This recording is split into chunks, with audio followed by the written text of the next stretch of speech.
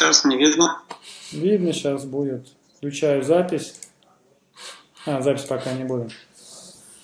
Всем привет, кто нас слышит. Пока никого вообще нет. Ноль. Пока зеро. Два человека смотрят. Пока сейчас подождем, как обычно. А, не, несколько минут нужно. Ну да, до 10 минут, он 5 минут подождем. Напишите, пожалуйста, звук слышно. Ну вот плюсики поставили, значит звук есть. Сейчас народ подтянется потихонечку. Можешь в Facebook пока зайти на страницу, пока мы эту презентацию не показываешь. Потом просто закрой и все, на презентации сконцентрируйся. А пока вот можешь посмотреть, как идет сейчас трансляция. То есть написано прямой эфир. Сейчас, Вниз чуть-чуть. Нет, не сюда, не сюда, в группу зайди. Не мучайся, нет. Зайди в группу.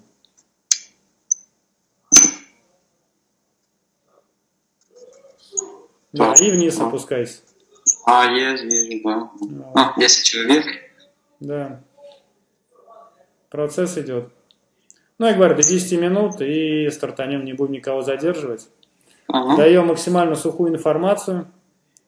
Согласилось около 70. Да, да, да. Ну, а в любом случае будут в основном все в запись смотреть, как обычно. Плюс я продублирую все на YouTube.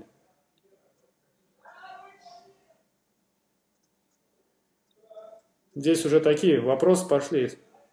Очень, очень профессиональные. Там. Осталось нам только патентного юриста еще найти. Если мы сейчас торговые марки регистрировать начинаем, нам надо еще юридические лица.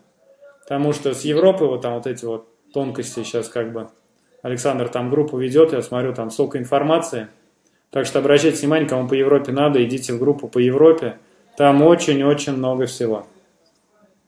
Еще интересную инфу нашел регистрации торговой маркой в Европе. Тоже нам будет пройти этот путь, и тогда уже, то, когда назреет необходимость в этом. Да, потому что, я так понимаю, торговая марка в Америке э, и патент в Америке не работает в Европе, правильно?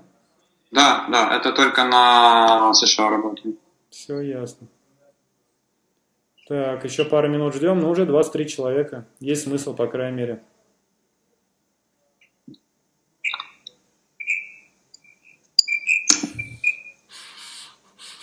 Так.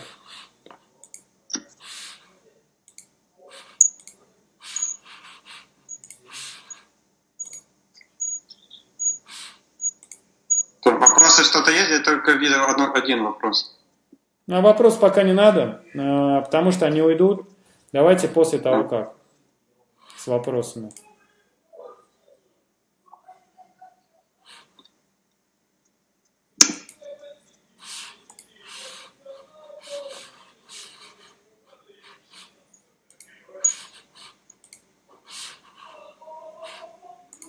Чуть-чуть маловато, хотелось бы больше народа.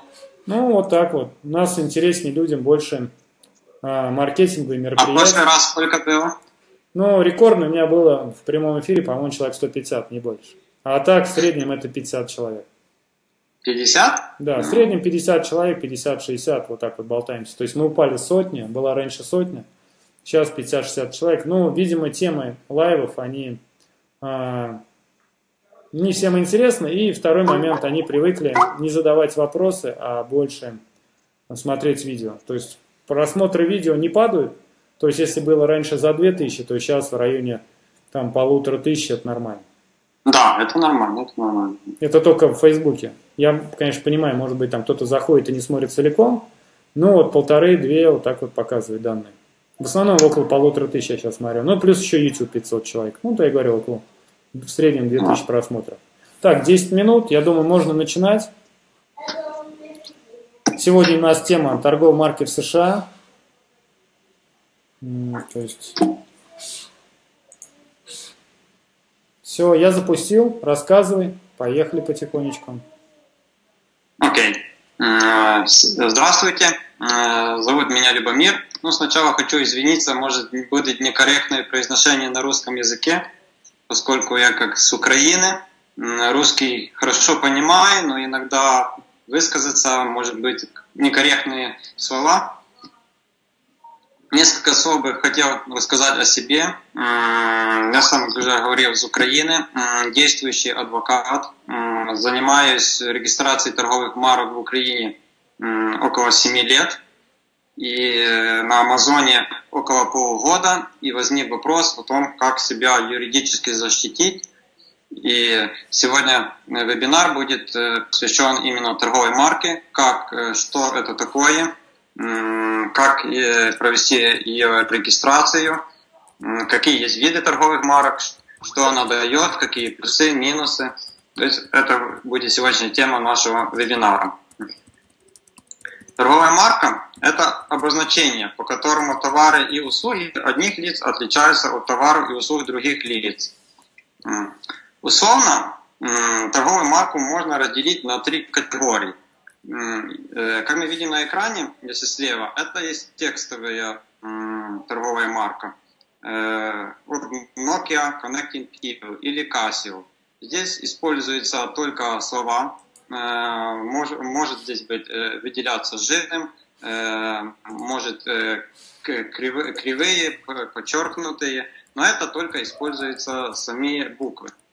Вторая категория торговых марок – это как бы изображение. Вот по центре мы видим Apple, это как бы яблоко, и нету никаких слов. Третий вариант справа – это комбинированный то есть э, это и э, слова, и изображения. Э, как мы знаем, интеллектуальная собственность в США, она хорошо защищается законом. Это для них как имущество. И нарушение – это как кража. Может, в наших странах, как постсоветского пространства, когда мы используем чужой софт, например, Microsoft, э, э, который мы скачивали как бы незаконно, это как бы в нашей норме, но в США э, это как бы серьезное нарушение. И мы, как продавцы на Амазоне, тоже хотим себя защитить, чтобы нашу собственность, которую мы придумали, интеллектуальную, себя защитить от кражи. Для чего же нужна э, регистрация торговой марки? Ну, во-первых, многие селлеры э, сталкиваются с хайджекерами. То есть это как бы есть э, вариант забанить хайджекеров, э,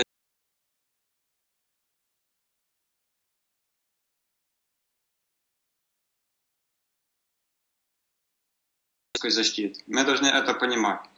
Второй вариант – это защита от недобросовестной конкуренции. Что имеем в виду? Я, в частности, с этим не сталкивался, но уже идет информация о том, что китайцы берут, э, сканируют э, ниши, в которых продавцы хорошо продаются. Они зарегистрированы как бренд registry, но у них нет торговой марки. То есть э, они могут отсканировать на сайте патентном ведомстве э, зарегистрировано или нет, и регистрируют на себя. Когда они, у них э, будет свидетельство о регистрации, они легко могут вас забанить, и вы как бы несете существенные потери. Третий вариант – это защита от э, бана аккаунта за нарушение интеллектуальной собственности. Но здесь речь не идет о нарушении патентов. Это как бы чуть другой вопрос. А э, есть случаи тоже, которые говорят о том, что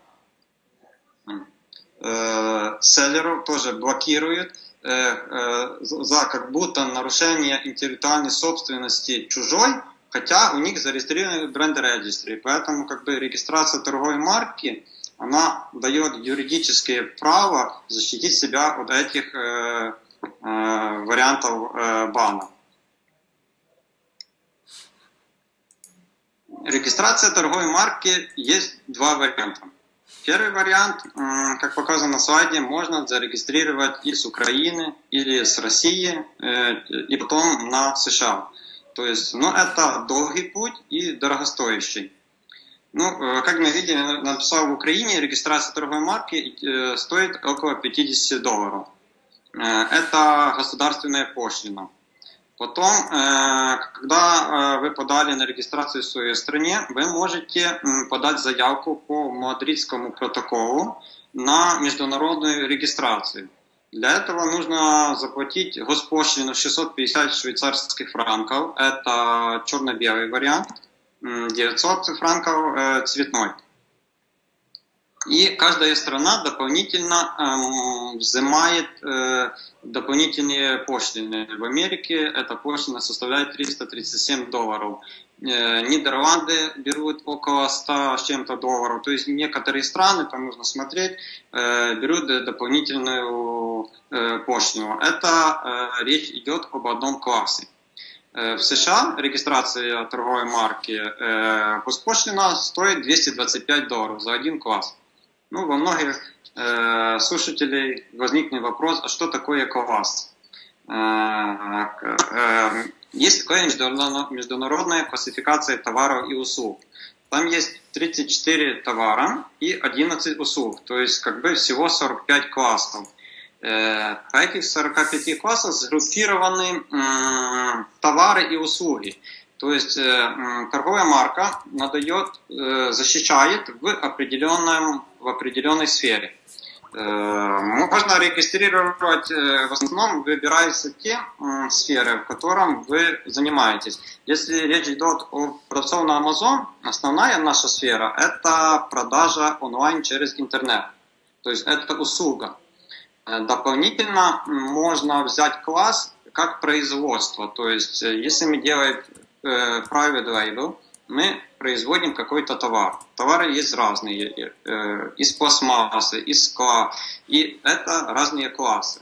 То есть минимально мы берем один класс, дополнительно мы можем взять класс как производство. Процедура э, регистрации торговой марки проходит следующие этапы. Первый этап – это подача заявления в бюро патентов. Я здесь как бы выделил таким жирным вниманием. Что я хочу сказать, что подача заявления не гарантирует 100% получения вами э, свидетельства. Э, почему? Дело в том, что ваше торговое заявление на торговую марку может войти в конфликт с другими торговыми марками. Ну, например, или текст э, созвучный, или э, графическое изображение – но определяющим здесь есть именно класс, на который вы подаете э, заявление. Поэтому э, что можно в этих случаях сделать? Ну, есть первый вариант, это предварительный поиск. Э, за это оплачивается государственная пошлина. И услуги юристов, ну, в принципе, она идет как бы по стоимости регистрации торговой марки. В своей практике я использовал это очень редко, но в основном тогда, когда мы давали на ускоренную регистрацию. По, по большому счету, можно превентивно посмотреть на сайте USPTO, э, мы можем посмотреть текстовую, текстовые торговые марки, которые уже зарегистрированы, и как же иметь такую, такую общую картину, насколько наша торговая марка может конфликтовать. Если речь идет о графической торговой марке, этой информации нету. И поэтому или наугад подавать, или запрашивать все-таки предварительный поиск. Ну, э, исходя из финансов, каждый принимает решение для себя. Э, второе – это экспертиза торговой марки. Экспертиза подразумевает собой эм, анализ, насколько ваша торговая марка может конфликтовать. За каждой торговой маркой закрепляется эксперт, который с вами будет общаться, и если есть какие-то вопросы по торговой марке, он э, будет вам направлять на электронную почту, и тогда уже, исходя из этих запросов, нужно, возможно, будет подключать американского юриста, ссылаться на какое-то законодательство, то есть если будет э, конкретные противоречия. Э, выдается свидетельство на торговую марку э, сроком на 10 лет. Э, в отличие от Украины, через 5 лет нужно будет подать э, декларацию об использовании и надать э, свидетельство о том, что вы торговую марку тех классах, которые вы заявляли, она э, используется. Например, в Украине у нас здесь декларативная форма. Мы пода подаем на классы определенные, но мы не доказываем, что мы ее используем. Мы можем его использовать, мы можем не использовать. Но там, если э, э, дается определенное время, до 6 месяцев, если этого не придет документа, торговая марка утратит свою силу, тобто її аннулируют. То есть есть вот такие некоторые ограничения э, в ее э, использовании. Ну вот э, такой краткий анонс о торговых марках. Если есть какие-то вопросы, задавайте, будем стараться ответить.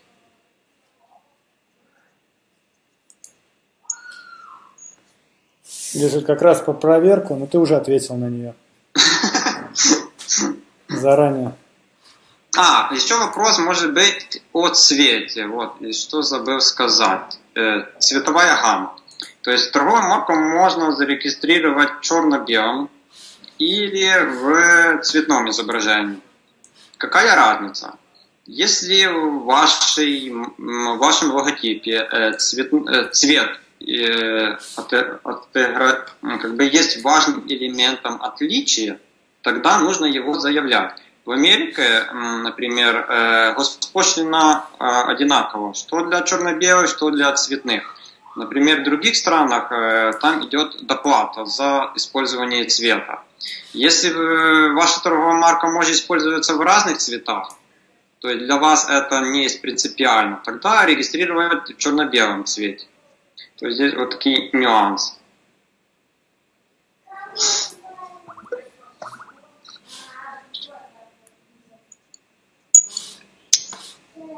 Ну, может, какие-то там есть вопросы? Ждем.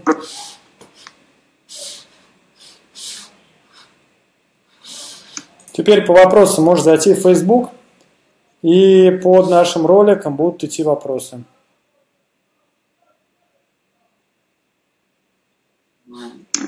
Я уже переключаю на... А, не, у нас еще. У меня какая-то задержка идет. А это всегда задержка идет, трансляция.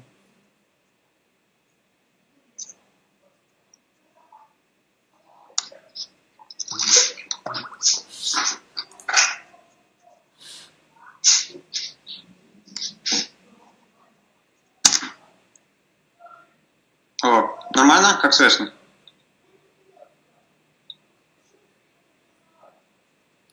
Минуту. Вы говорите о торговой марке и патенте. Это разные вещи. Понятное дело. Ну, процедура регистрации. Речь идет о процедуре регистрации.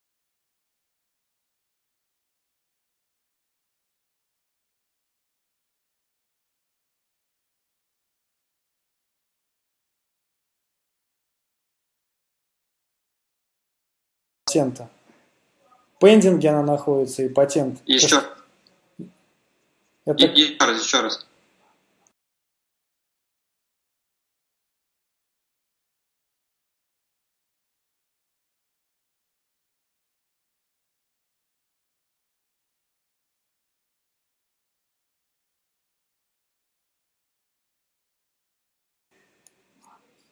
Ну, по патентам я как бы никогда не занимался, и у меня в этом опыте, опыта нет. Ну, большая, больше проблема именно в языковом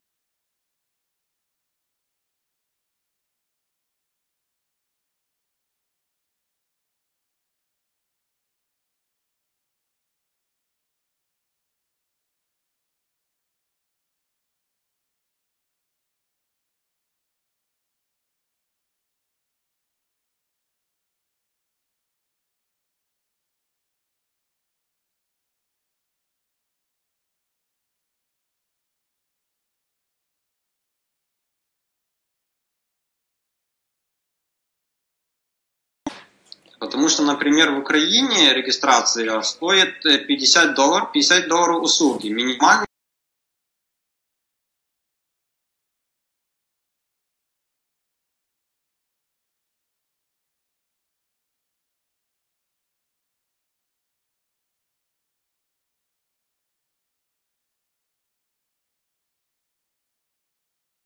Uh на это тратится ну, до часа времени, час, ну, полтора. То есть э, тысячу долларов для нас это очень большая сумма за такое потраченное время. Ну, там у них и сантехник стоит 150 долларов в час. По крайней мере, в Канаде мне товарищ рассказывал, там 100 с копейками да, долларов. очень дорого э, котируются, то есть, э, а если, например, к торговой марке еще там нужно будет какие-то нюансы и дополнительно э, там отвечать или запросы делать, они тарификуют это по часу, и час у них ценится около 350 долларов. Вот вопрос поступил.